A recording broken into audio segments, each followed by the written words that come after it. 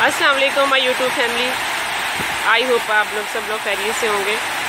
ये आपको मैं दिखा रही हूँ बहरिया टाउन में। ये आप सार देखें कितना अच्छा लुक है इसका। कितना मज़ा आ रहा है। सब लोग इंजॉय कर रहे हैं यहाँ पर। अच्छा व्यू है यहाँ पर। पानी का शोर तो बहुत ही खूबसूरत है।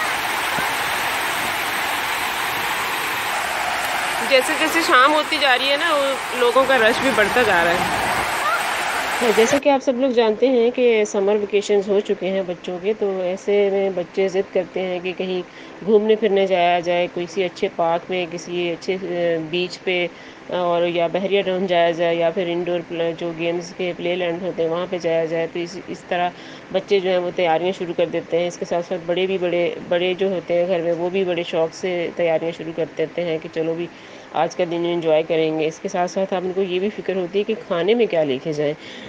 तो खाने में ये है कि आप बिरयानी ले जा सकते हैं, सैंडविच ले जा सकते हैं और कबाब पराठा ले जा सकते हैं। इसके साथ साथ आप कोई कोई ऐसी चीज़ जो गिरने वाली ना हो, जल्द ख़राब होने वाली ना हो, जैसे सालन रोटी वगैरह, ये भी ले जा सकते हैं और जूस वगैरह, चाय, सब चीज़ें ले जा सकते हैं। अगर चाट भी लेके जाएँ तो वो जल्दी खा लें, क्योंकि उसमें इमली और खटाई होती है तो वो जल्दी ख़राब होने का उसका ख़तरा होता है।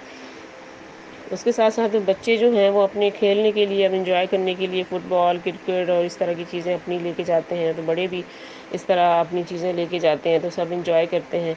तो आप भी इस समर वेकेशन में को इंजॉय करें, अपने बच्चों के साथ कहीं भी किसी अच्छे पिकनिक पॉइंट पर जाएँ और इंजॉय करें समर वेकेशंस को।